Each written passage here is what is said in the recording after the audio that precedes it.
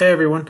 So I wanted to show a show y'all a quick um, setting that you can do when bringing in references that I think um, can help in some cases um, depending on what you're doing.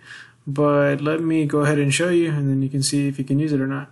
So if we go to the references, we see that this is a reference um, and the model that I chose was um, some cross sections for driveways um, in this project that I've been working on.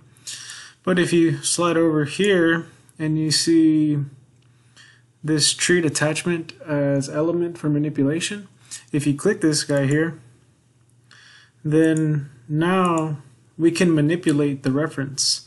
And what you can do is, for some reason, um, if you wanted to scale this um, or these cross sections, you could. So these these cross sections are one to one right now. If I wanted to scale them and get some vertical exaggeration, let's say I wanted to do four um, uh, vertical exaggeration.